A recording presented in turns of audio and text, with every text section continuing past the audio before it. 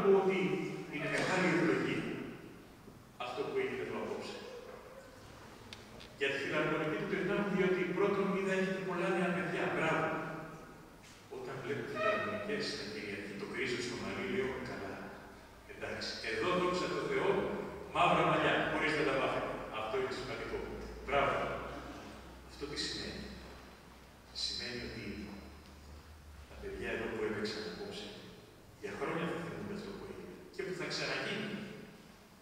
Και θα είναι η Παναγία εφανερωμένη ένα στόχο νεανικών εφηβικών αναμνήσεων σοβαρό. Θα είναι κάτι που θα του χαρακτηρίσει για όλη του τη ζωή. Που θα επανέρχονται εδώ στον ναό αυτόν που όχι μόνο προσευχήθηκαν, όχι μόνο κάποιοι από αυτού βαπτίστηκαν ή για να του αξιώσει ο Θεό να παντρευτούν, αλλά και στον ναό που έδωσαν μια συναυλία, που εμφανίστηκαν, που έπαιξαν κομμάτια που έχουν προσευχητική και ανατρεφτική αναφορά. Είναι σημαντικό στα παιδιά μας να δίνουμε βήμα και λόγο μέσα στην Εκκλησία και να μην το κρατάμε ζηλότητα για τους εαυτούς μας. Να φέρουμε μόνο εγώ στις ακολουθίες, να φέρουμε μόνο οι παπάδες, μόνο οι ψαλτάδες, μόνο όσοι έχουν κάποια διαγωνία στη στυλιζαρισμένη ακολουθία. Που έχει τη σημασία της. Να φέρονται για τα παιδιά μας. Να φέρονται όλοι, να συμμετέχουν όλοι. Να φέρονται για να συμμετέχουν. Άρα λοιπόν, απόψε, φάνηκαν πολλοί, συμμετείχαν πολλοί. Μπράβο σε όλους. Μην επαναπαύονται, θέλουμε όλη δουλειά πολύ ακόμα για να φτάσουμε εκεί που πρέπει και να χαρούμε ακόμα καλύτερα και μεγαλύτερα και σπουδαιότερα και αρτιότερα αποτελέσματα. Ευχαριστώ του γονεί των παιδιών και τη φιλαρμονική και τη σχολή τη μουσική που τα πηγαίνουν, φέρνουν, τα στηρίζουν, που αφιερώνουν χρόνο από τον χρόνο του για να μάθουν ο καθένα το δικό του είδο μουσική. Είναι σημαντικό. Η μουσική είναι μια πνευματική ενασχόληση. Αν τα παιδιά δεν ασχοληθούν με μουσική ή και με αθλητισμό, με τι θα ασχοληθούν, πού θα καταντήσουν, πού θα πάνε. Θα γυρίζουν ρέμπερε στι καφετέρειε από εδώ και από εκεί, θα γυρίζουν σπαταλώντα τον χρόνο του. Αυτέ οι δραστηριότητε που πολλές φορές τις λέμε και δημιουργικές, είναι βαθιά πνευματικέ, διότι βάζουν τον άνθρωπο να αυτοπιθαρχεί, να περιορίζεται. Γιατί για να μάθεις μουσική δεν είναι εύκολη υπόθεση. Ρωτήστε τους μουσικούς και ρωτήστε όσους στην πορεία, στον δρόμο χάθηκαν, γιατί δεν άντεχαν να μάθουν. Έτσι δεν είναι μαέστρο. Είναι πολλοί οι οποίοι σταματάνε. Γιατί είναι δύσκολα τα πράγματα. Και για να τα βγάλεις πέρα, πρέπει και να αυτοπεριοριστείς και να αφιερώσεις χρόνο και να συμμαζευτείς να ζει ζωή συγκρατημένη. Έτσι είναι.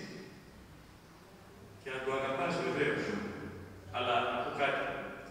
Ένα ο οποίος πρέπει να μάθει ένα πνευστό όργανο δεν μπορεί να το φροντίσει την υγεία του τα πνευμόνια του. Ένα ο οποίος θέλει να γίνει ψάλτης δεν μπορεί επίσης να το φροντίσει τα πνευμόνια του, αλλά επίσης δεν μπορεί και να μάθει να αυτοπεριορίζεται στις κινήσεις του τρόπου που μιλάει, στον τρόπο που. Γιατί μετά θα είναι ψάλτης, δεν μπορεί ο ψάλτης να είναι ο περίγελο τη μικρή κοινωνία του χωριού ή της πόλης. Πρέπει να είναι σοβαρός, μαζεμένος, σεμνό, στη ζωή του μετρημένος. Όποιος λοιπόν αναλαμβάνει τέτοια καθήκοντα, όποιος λαμβάνει τέτοια εκπαίδευση, μαθαίνει πρώτα απ' όλα να καλλιεργεί είδους.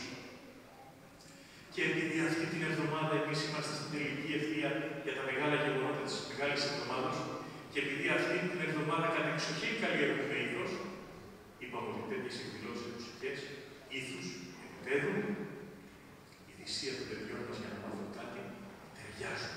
Να φανούν, να αναδειχθούν, να προβληθούν. Και μάλιστα μέσα στον ιστορικό αυτό ναό, που φέτο κλείνει τα 150 χρόνια από τα εγγένειά του. 1872.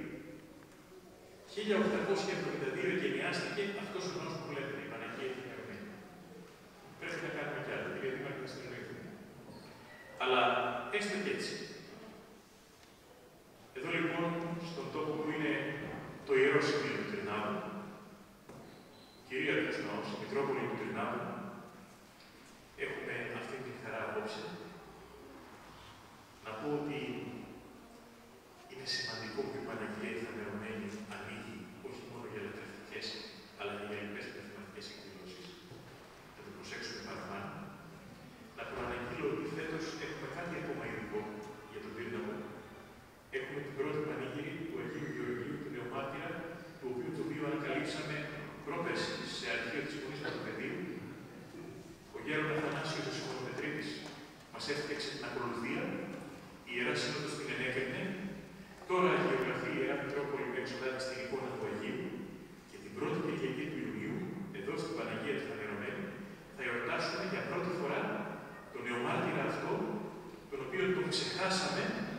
Ξεχάστηκε το μαρτύριό του.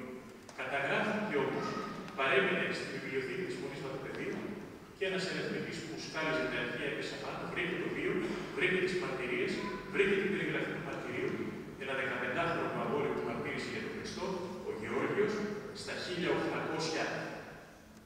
στον Πύργαμο, δεν, δεν πρέπει να το συγχύουμε με τον Άγιο Γεώργιο του Νεκραψάνης που μαρτύρησε το 1818, το μαρτύριο του Αγίου Γεωργίου του Επυρνάβου είναι το, το 1805, 13 χρόνια πριν, το μαρτύριο του Αγίου Γεωργίου του Εκραψάνης, ως αυτός μαρτυρήσαμε στον Πύρναβο, αλλά το 1818, επομένω αρχίζει σιγά σιγά ο Άγιος Θεός να στέλνει ευλογία, επειδή αγαπάμε τον Πύρναβο, όπως είπατε κύριε Δήμη.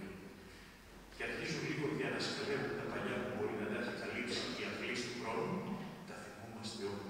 Και σιγά σιγά επιτρέπει ο Άγιος Θεός και επανέρχονται και βγαίνουν στο φως και μακάρι να μας αξιώσει ο Θεός να αναδείξουμε όλο αυτό το πολιτιστικό θησαυρό, όλο αυτό το ιστορικό, όλο αυτό το αγιολογικό πλούτο που η υγεία αυτή κρύβει στα σπλάχνα της, έτσι ώστε πραγματικά ο Τρίτονος να γίνει κι άλλο Χριστός.